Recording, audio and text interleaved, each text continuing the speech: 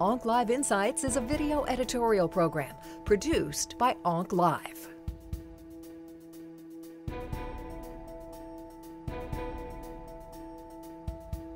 Let's transition now and talk about HPV negative head and neck cancer. What do you use as standard of care in that setting? Uh, well, it's an important subset. Uh, as I uh, alluded to, the frequency is declining as smoking rates have decreased, which is a real success for a public health effort. Uh, but we still see HPV negative head and neck cancers. This is a major clinical problem because the survival is uh, uh, relatively poor, 40 to 50 percent long-term uh, uh, cures. And in this population, we've not seen a significant uh, improvement in survival over the years. The, the bedrock standard therapy is to combine cisplatin either every 21 days in a traditional uh, every three week cycle for three cycles with, week, uh, with daily radiotherapy.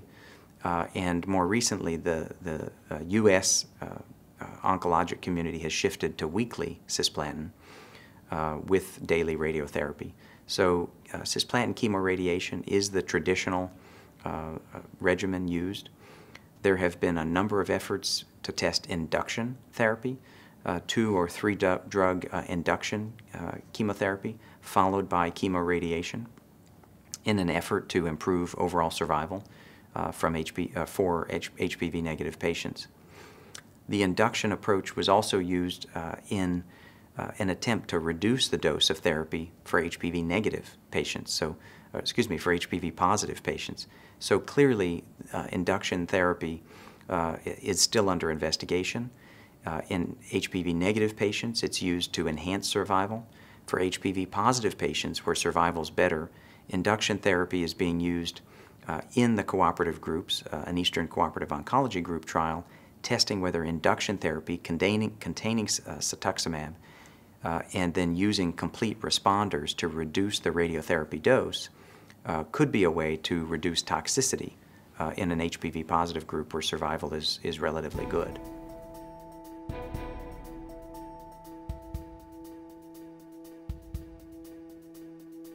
So let's transition and talk about HPV negative disease.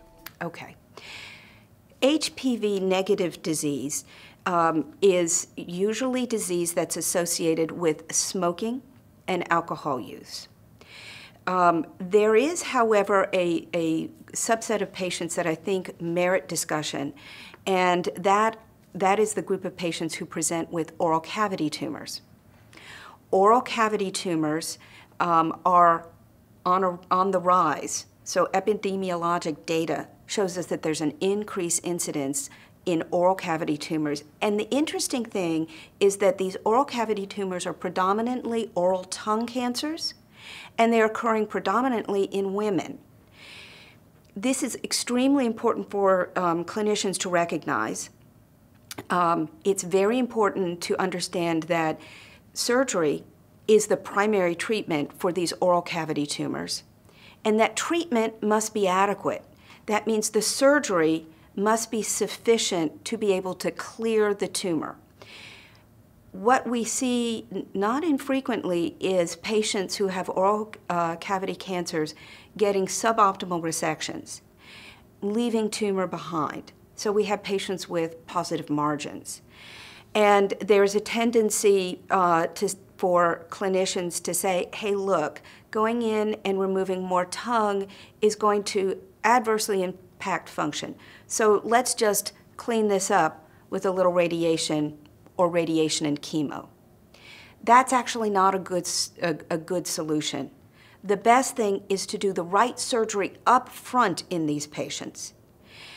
Get a good clear margin because there is clear data that if you don't get a, a clean margin, that the overall outcome for these patients with chemoradiation to mop up positive margins is inadequate and inferior.